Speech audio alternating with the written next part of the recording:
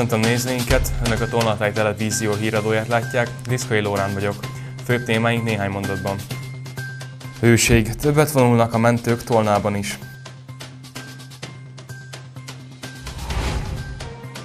Székely kapu, avató ünnepség Szexárdon. Búcsú Tolnán, kiállítás és kulturális műsorok. Multidéző tűzoltó bemutató, fotózás Bonyhádon.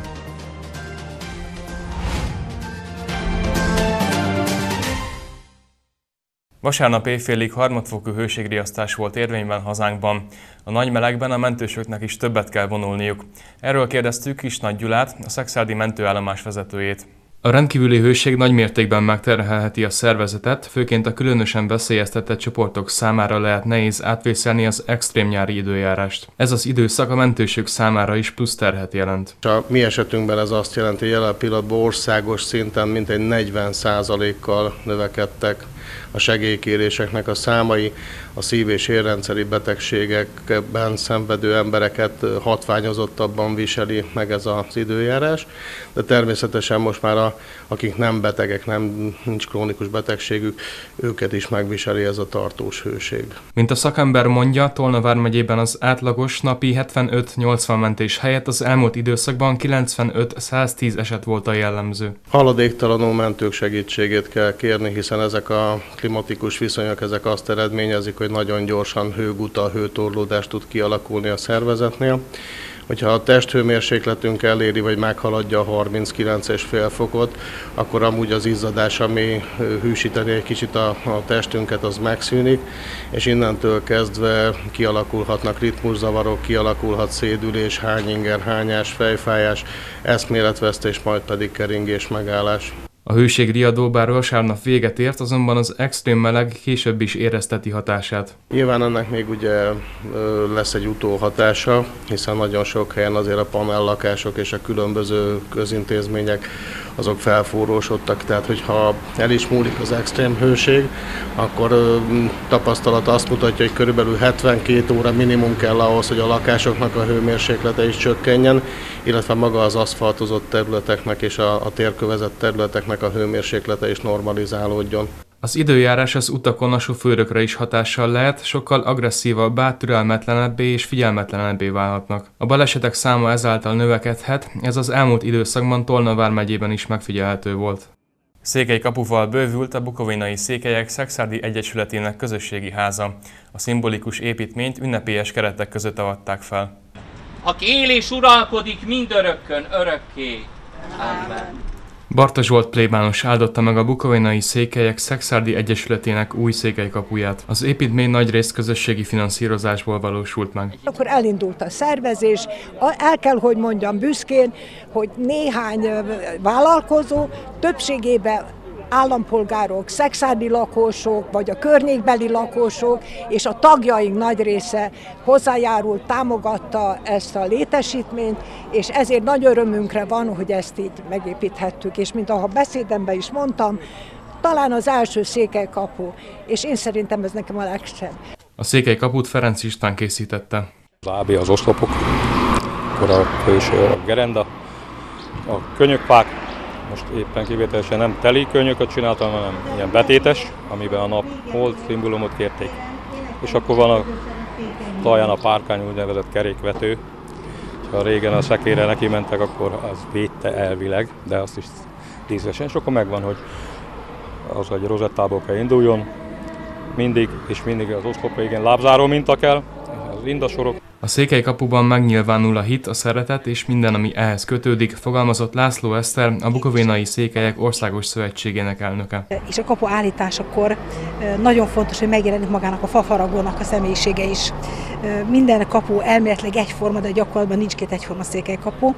A fafaragó megjeleníti benne a saját gondolatait, az ottani érzelmvilágát, gondolatait, beszél azzal a családdal, aki ezt állítatja, annak megfelelően építi fel a kaput, és ugyanakkor megjelenik maga a, a a megrendelőnek a személyisége is. Igaziból, aki nem ismeri a székelykapukat, az általában egyformának gondolja, de valóságban nincs két egyforma kapu, és mindegyik másképp mond, másképp beszél ugyanarról a dologról. Az eseményen köszöntőt mondott Potápi Árpád János nemzetpolitikáért felelős államtitkár, Tolna vármegye 2 számú választókerületének országgyűlési képviselője. 1945 óta próbáljuk megőrizni azokat az értékeket, azokat a hagyományokat, szokásokat, ami ezt a népcsoportot jellemezte még kint Bukovinában, ami népszokásokat, minden egyebet megőriztek a számüzetésben a mi nagyszüleink, dédszüleink, és ezt már itt egy magyar világban próbálják tovább folytatni. Az ünnepélyes avatást kulturális műsorok is színesítették.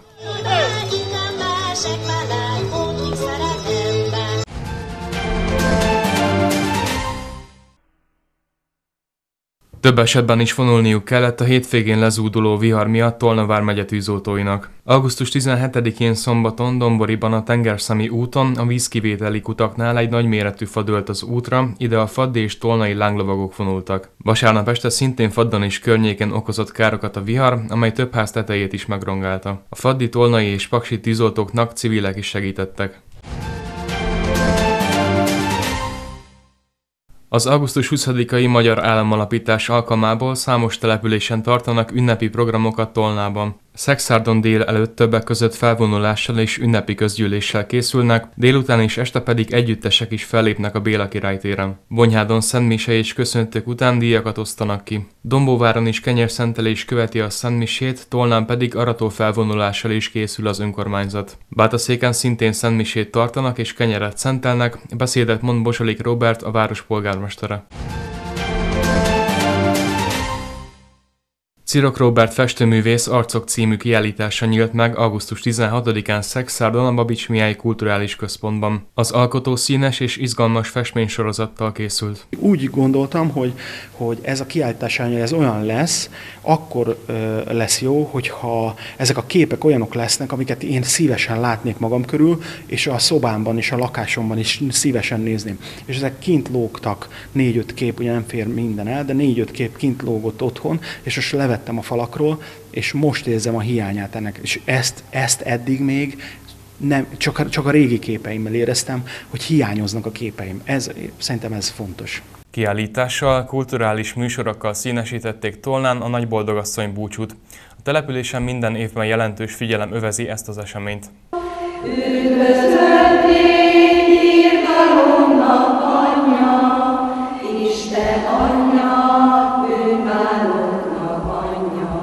Nagy boldogasszony ünnepe a búcsú napja Tolnán.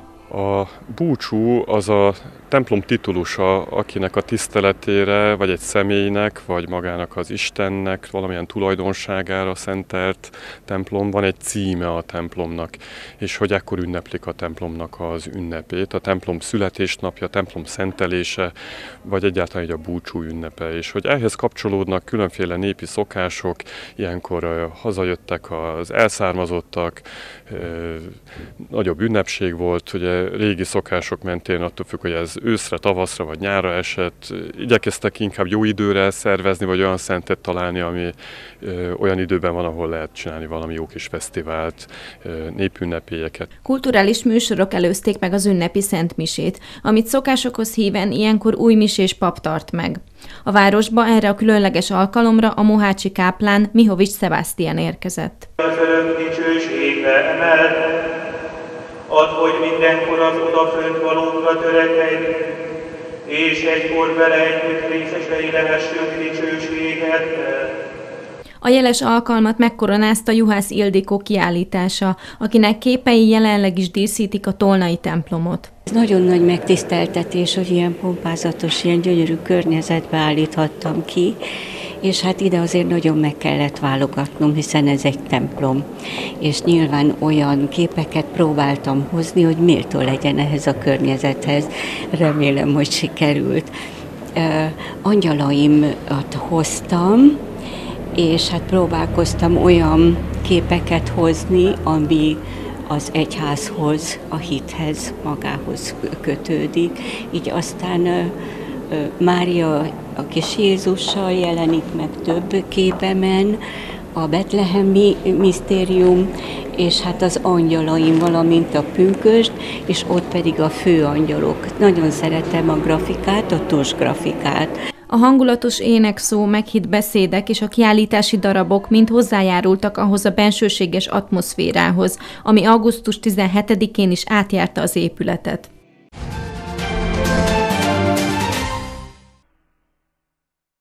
Kettő egyre győzött a Paksi FC labdarúgó csapata az OTB Bank Liga negyedik fordulójában. Bognár György gárdája az újonc Nyíregyháza együttese ellen tartotta otthon a három pontot. Az atomvárosiak az új szezonban eddig négy meccsükön 7 pontot szereztek, ezzel a tabella negyedik pozícióját foglalják el. A Tolna vármegyei alakulat legközelebb Csehországban lép pályára, a konferencia liga selejtezőjében a Mlada Boleslav lesz az ellenfelük augusztus 22-én csütörtökön.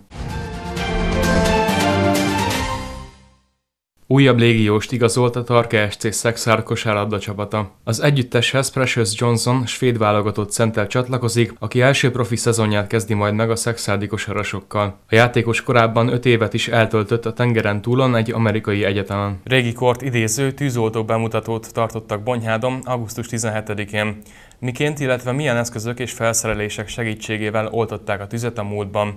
Erről a szombati napon Borsos Mihály fényképész egy könyvhöz készített fotográfiai sorozatot. Augusztus 17-én Bonyhádon a Sojmár Imre Városi Könyvtár előtt tűzoltó bemutatót tartottak a bonyhádi önkéntes tűzoltók. Az erről készült fotósorozat egy könyv első fejezete lesz, ami a történelmi részt mutatja be.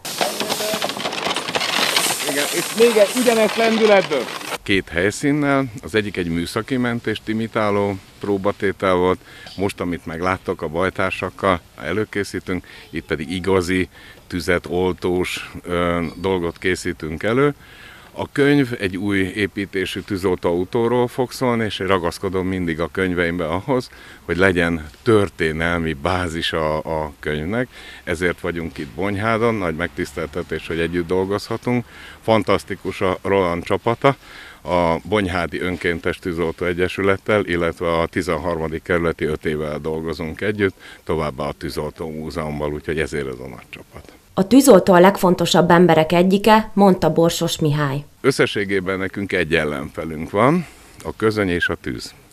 Mert ha ellopják, hát majd megkeresik a rendőrbajtársak, ha megsérül, kell munka a restaurátornak is, na de ha elég, akkor mit tudunk vele csinálni? Tehát, hogy a tűz az egy rettentő, amennyire fontos az emberiség története során a tűz felfedezése, annyira gyilkos dolog is tud lenni.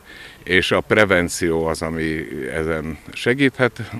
Többek között ezért csinálunk gyermekrajzpályázatokat, ilyen tűz megelőzési ö, szándékkal, meg hát csináljuk most a könyvünket. A könyv a tervek szerint márciusban fog elkészülni. Ennek a megvalósításában nagyban hozzájárultak a bonyhándi önkéntes tűzoltók és más civilek is. Berk Imre keresett meg a Tűzoltó Múzeum igazgatója egy könyv fotózás céljából, amelynek a, a könyvnek a lényege, hogy bemutassuk a, a szereket, ami ugye az 1900-as évektől napjainkig hogyan fejlődött a tűzoltóság, és a Bonyhádi Tűzoltó Múzeum rendelkezik több tűzoltó fecskendővel, és ezeket a tűzoltó fecskendőket felhasználva, és itt a tűzoltó bajtársak és különböző kollégák segítségével tudjuk ezt létrehozni itt Bonyhádon.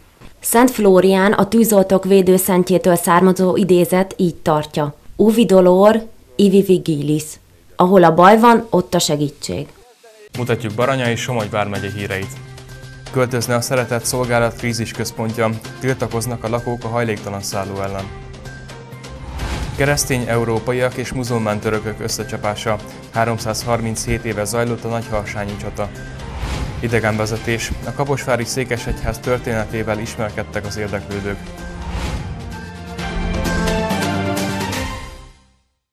Tiltakoznak a hajléktalanoknak segítő krízis szálló kialakítása ellen az Ispita alján élők.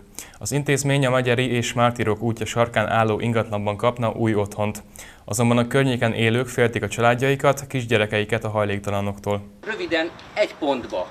Itt az ispitaiak nem szeretnének ide hajléktalan szállót. Így foglalta össze ez a férfi, hogyan vélekednek a városrészben élők a közelükbe tervezett hajléktalan szállóról. A Mártirok és Megyeri út sarkán lévő épületet kapta meg a Magyar Máltai Szeretett Szolgálat. Ide költözne át a hírek szerint a kríziszállójuk a belvárosból.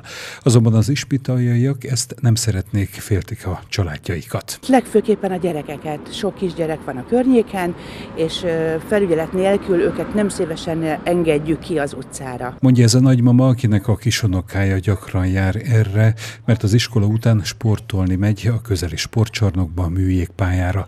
Azt mondja, senki nem kérdezte meg őket az intézmény létesítéséről. Semmiféle felmérés nem történt az iránt, hogy itt egy átmeneti szállás fognak kialakítani, és ezért maximálisan fel vagyunk háborodva, hogy ilyen a, a lakóövezet be, ahol családi házba élünk, ilyen megvalósul. Hat nélkülünk.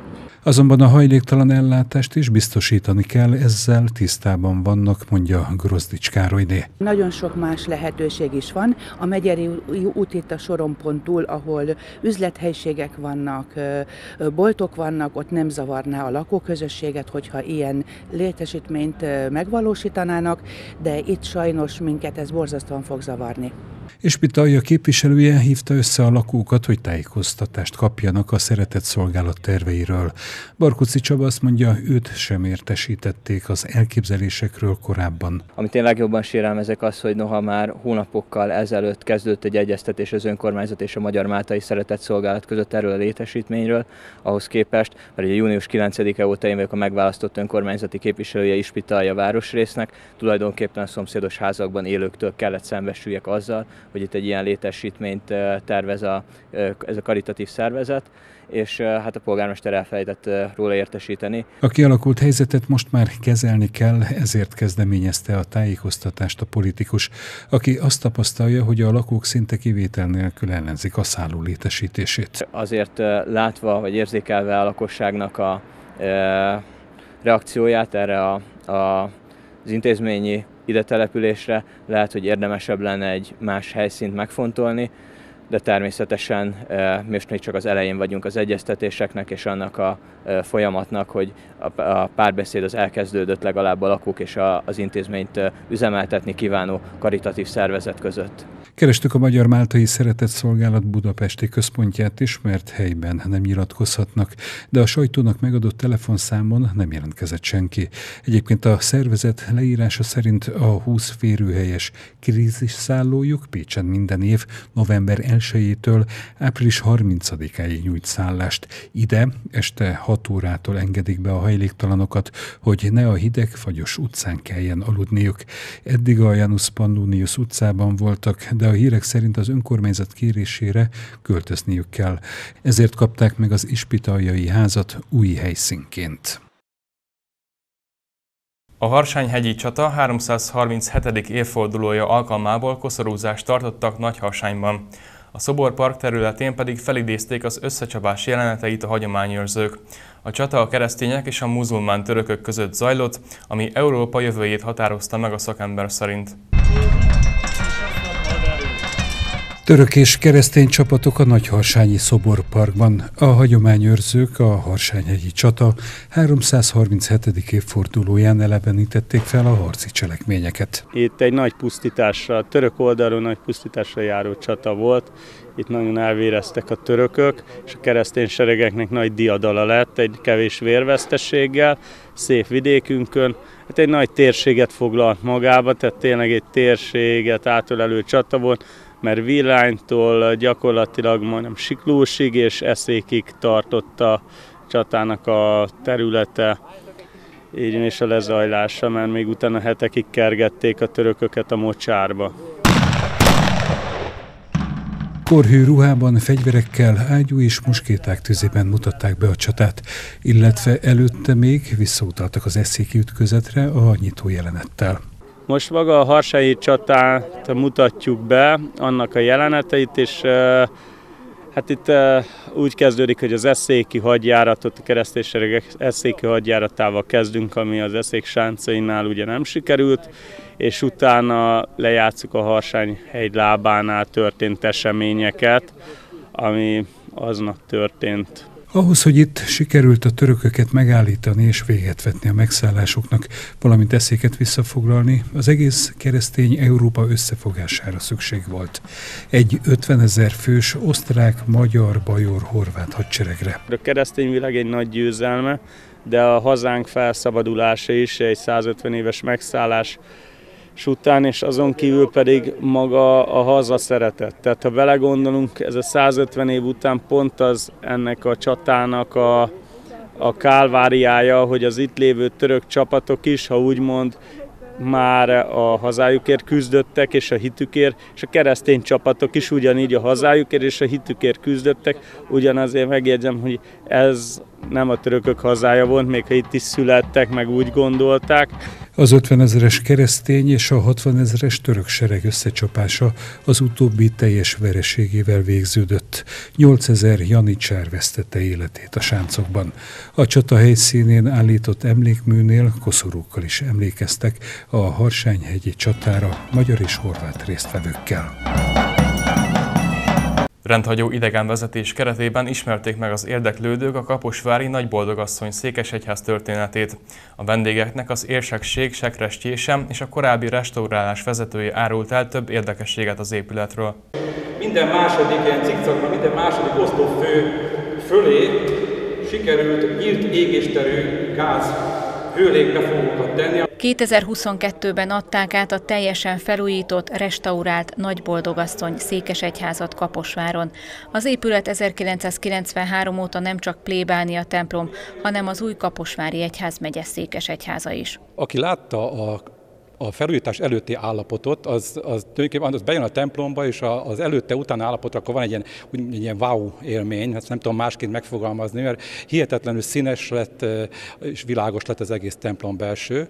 Ez, ez az egy, egy, egyik legfontosabb. Maga nemében nem egyedülálló ez a díszítés stílus, ez tökéletesen illeszkedik abba a 19. század végi díszítő festési eljárás módba, mint a, akár a Pécsi bazilikát tekintjük, vagy a, a Mátyás templom, országház, stb. stb. Tehát igazából ilyen szempontból illeszkedik ebbe az egészbe, és itt maga az, hogy hihetetlenül színessé vált, és az az élmény az, ami nagy, nagyon fontos lehet a kaposváriaknak. Itt mind az üvegablakok tekintetéről beszélünk, mind a, a, a falképről beszélhetünk. A Kaposfest keretében ezúttal a nagy érdemű is sok érdekességet, kulisszatitkot tudhatott meg az épületről, a többi között azt, hogy ez már a harmadik templom ezen a helyen.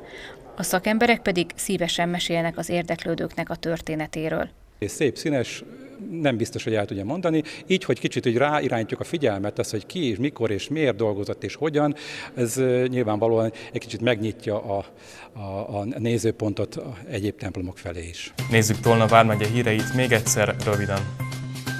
Hőség. Többet vonulnak a mentők Tolnában is.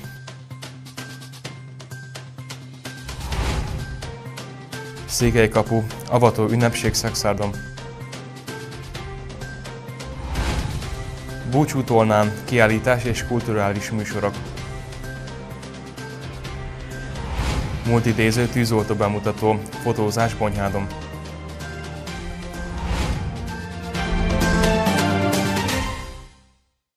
Kedden az államalapítás ünnepén folytatódik a változékony füllet időjárás. A nap nagyobb részében változó, bujkáló napsütéses idő lesz a jellemzőbb.